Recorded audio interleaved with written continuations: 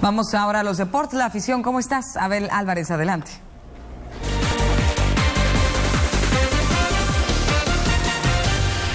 Gracias, Adrián. Muy buenos días para ti, también para Daniel y por supuesto para las personas que están en la sintonía con Milenio Televisión. Aquí estamos con los deportes en la afición.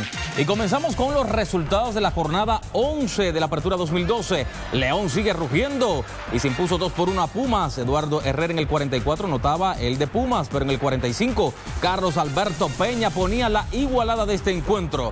Y en el 65 Sebastián Más ponía adelante a León 2 por 1 frente a Pumas. Sí, sin duda que hoy estamos todos muy contentos, muy felices, sobre todo por, la victoria ante un gran rival, un equipo grande de México como Pumas.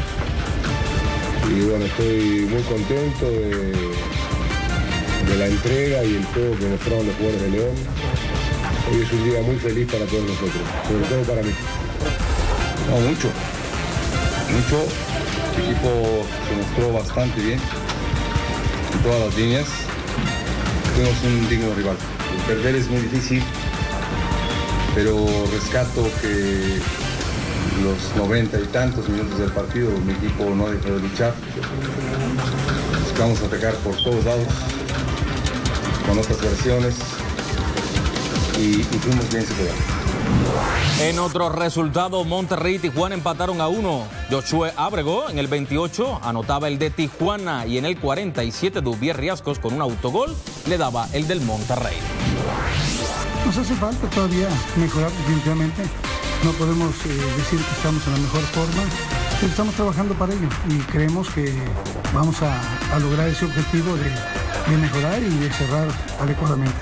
Creo que manejamos mucho más la pelota nosotros, pero esto se gana con goles.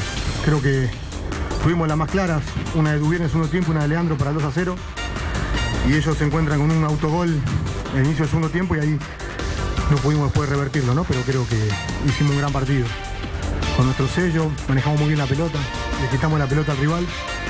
la verdad que estoy satisfecho con el resultado y con el rendimiento del equipo. Y bueno, los partidos de la jornada 11 continúan hoy y precisamente será entre Morelia y Jaguares en el Estadio Morelos a las 20.30 horas. Pasando a más información deportiva, el venezolano Miguel Cabrera se convirtió en el primer jugador en 40 años que completa la triple corona de bateo en las grandes ligas, uniéndose a una lista de nombres legendarios como Mickey Mantley, Ted Williams y Lou Gehrig. Cabrera se fue de 2-0 con los Tigres de Detroit ante los Reales y fue vitoriado de pie por los aficionados en la cuarta entrada al pegar 44 cuadrangulares en la temporada con un promedio de 330 y remolcó un total de 139 carreras. Ahí estamos viendo, señores, pues los números de Miguel Cabrera. Le decía 44 cuadrangulares, 330 de promedio de bateo y 139 carreras remolcadas. Por último, el alemán Schumacher anunció en definitiva su retiro de la Fórmula 1 al término de esta temporada, la cual termina el próximo 25 de noviembre. En Interlagos, Brasil, el alemán pone fin a una carrera de 21 años en la que ha conseguido siete títulos mundiales y ha batido todas las marcas posibles. Schumacher se había retirado en el 2006, pero regresó a la pista en el 2010. Y de esta manera vamos llegando al final de la información deportiva. Pero antes de despedirme, les recuerdo el Twitter para que se comuniquen conmigo directamente. Abel Álvarez CU. Ahora sigan en Milenio Televisión.